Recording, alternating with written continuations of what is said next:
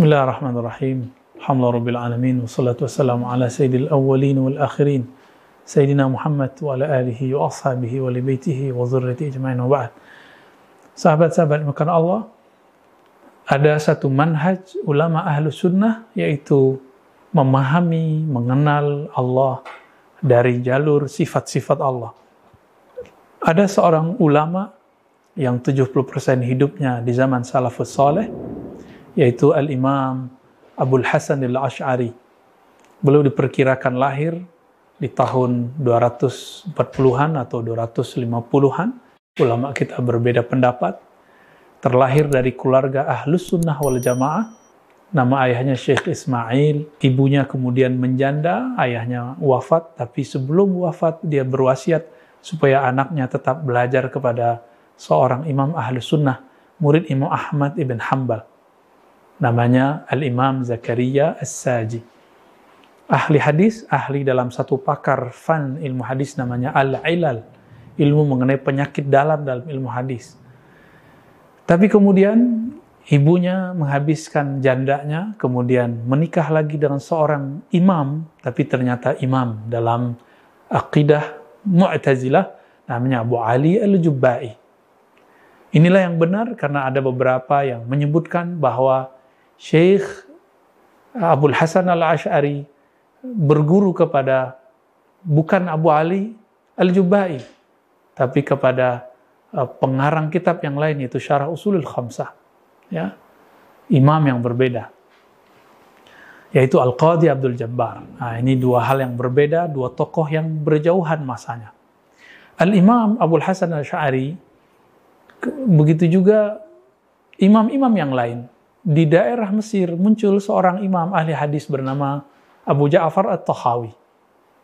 Sedangkan di daerah Samarkan muncul seorang imam sunnah bernama Muhammad Abu Mansur Al-Maturidi.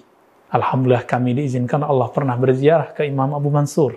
Mereka semua hidup di masa yang berbeda, tapi meyakini sifat Allah dengan cara yang sama, tapi pengistilahannya muncul belakangan. Mereka meyakini inti-inti dari sifat Allah yang kemudian kita kenal dengan sebutan sifat 20 atau sifat 13. Ini sangat aneh. Teksnya hampir sama, mereka menyebutkan sifat-sifat wajib Allah hampir sama. Manhaj mereka menafsirkan sifat Allah hampir sama, padahal secara fisik tidak ada riwayat yang mengatakan mereka bertemu meskipun secara tahun mereka berdekatan. Imam Tohawi wafat di awal tahun 320-an atau lebih tepatnya 321. Sedangkan Imam Al-Ash'ari wafat tahun 324. Imam Al-Maturidi wafat tahun 333. Mereka kemudian mengajarkan murid-muridnya, khususnya Imam Abdul Hasan Ash'ari lebih populer karena beliau dulu tinggal di kota metropolitan, kota pusat peradaban. Inilah yang membuat mazhab atau manhaj Imam Ash'ari lebih populer dari manhaj Tohawi ataupun Maturidi. Imam Abdul Hasan Ash'ari kemudian mengajarkan murid-muridnya Al-Bahili, Imam-Imam, Ruwaim, dan imam-imam yang lain akidah yang belakangan oleh Imam Sanusi disebut dengan sifat 20. Apakah ini pembatasan? Tidak.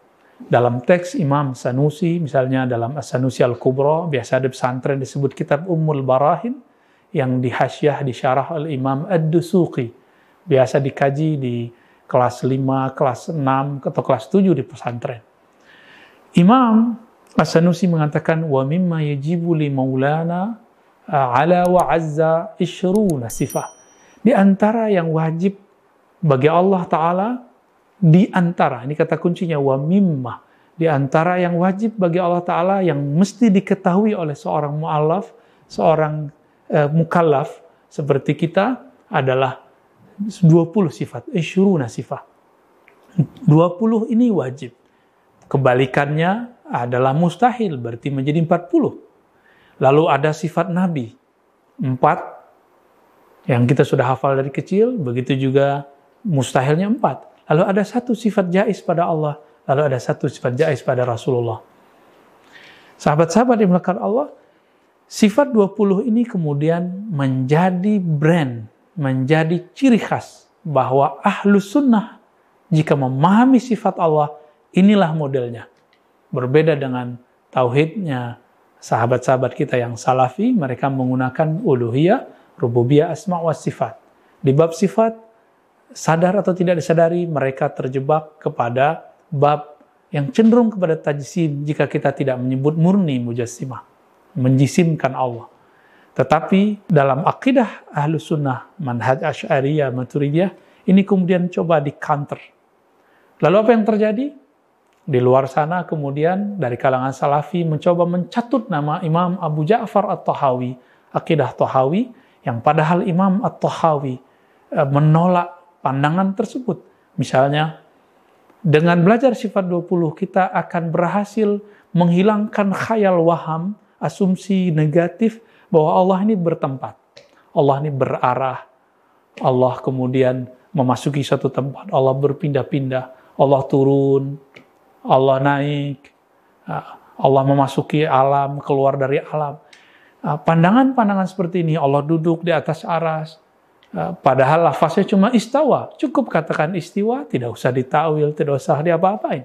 Katakan, saya yakin bahwa Allah istawa. Sebenarnya itu sudah selesai. Nah, mereka kemudian mengambil teks karena dia Asy'ariyah, di Maturidiyah sifat 20 sulit untuk mengambil mencatutnya. Maka dicatutlah seorang imam namanya Abu Ja'far At-Tahawi. Beliau punya kitab Aqidah Tahawiyah. Ternyata Imam Tahawi pun menolak semua asumsi itu. Beliau mengatakan ta'ala Allah anil hudud wal ghayat. Ya, di ujungnya mengatakan wal jihadus sit. Allah Maha suci dari arah dari batas, dari had, dan juga Allah Maha Suci dari anggota, anggota tubuh. Allah Maha Suci dari arah yang enam. Atas, bawah, depan, belakang, kiri, kanan. Yang mana Ibnu Taimiyah kemudian menghadang ini dan mengatakan Allah punya arah atas.